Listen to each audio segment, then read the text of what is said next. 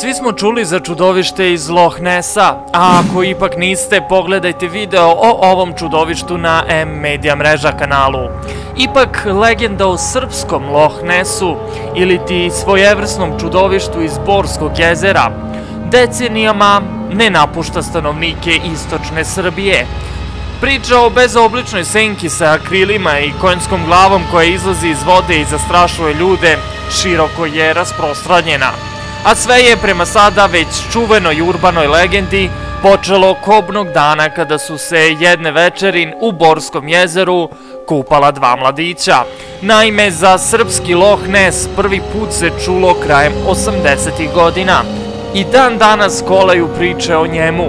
Stanovnici okolnih sela pričali su da njihova stoka, koju su dovodili da se napoji na jezeru, misteriozno nestaje, čak i tokom dana veliku avetinsku životinju koja živi u jezeru, prvi put je prema legendi pomenuo neki mladić po imenu Marko, kojem se navodno najbolji drug Milan utopio dok su se zajedno jedne večeri kupali u jezeru. Kasnije su međutim mnogi to odbacili povezujući njegovo trabunjanje, kako su ga nazvali, sa njegovim mentalnim stanjem nakon gubitka prijatelja. Stanje mu se ubrzo legenda dalje kaže u potpunosti pogoršalo, te je navodno išao noću uz obolu i molio čudovište da uzme i njega, da bi konačno završio u sanatorijumu.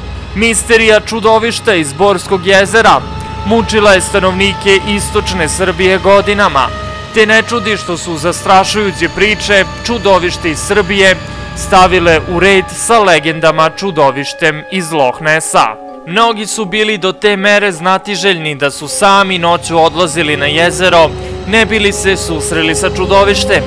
Tvrdnje starca Milivoja R.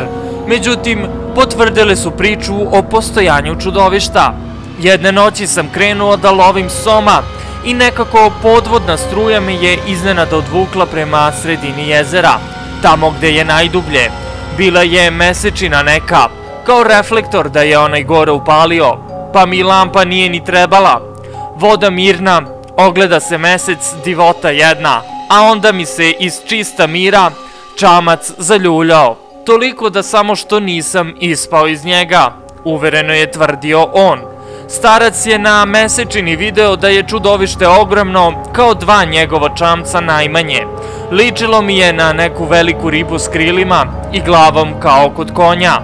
Pljusnulo je nazad u vodu a ja sam samo pao u čamac, onako poleđuške. Ležao sam onako pokrio glavu rukama, a čamac se tresao kao lud, reče on. Sada je trajalo oko minuta, čamac je posle počeo da se smiruje.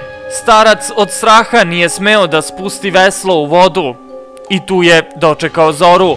Posle toga nikada nije seo u čamac, niti je otišao na pecanje, Tako je pričao o čudovištu iz Borskog jezera, poduprata raznim pričama. Postala urbana legenda koja se decenijama prepričavala. Nema čoveka koji živi u istočnoj Srbiji, a i šire da nije čuo za čudovište iz Borskog jezera. Da li ste vi čuli za ovo čudovište i da li mislite da stvarno tu postoji nečega? Pišite nam u komentarima.